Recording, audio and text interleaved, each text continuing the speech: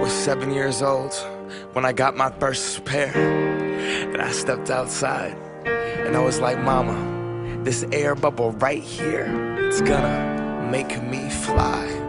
I hit that court and when I jumped, I jumped. I swear I got so high.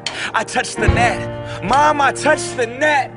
This is the best day of my life. Air Maxes were next.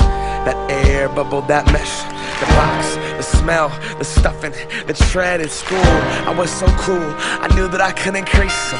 My friends couldn't afford them. Four stripes on their Adidas. On the court, I wasn't the best, but my kicks were like the pros. Yo, I stick out my tongue so everyone could see that logo.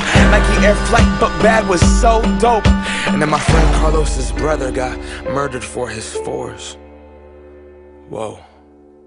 See, he just wanted a jump shot, but they wanted to start a cult though. Didn't want to get caught from Genesee Park to Othello. You could clown for those probings with the Velcro, those were not tight. I was trying to fly.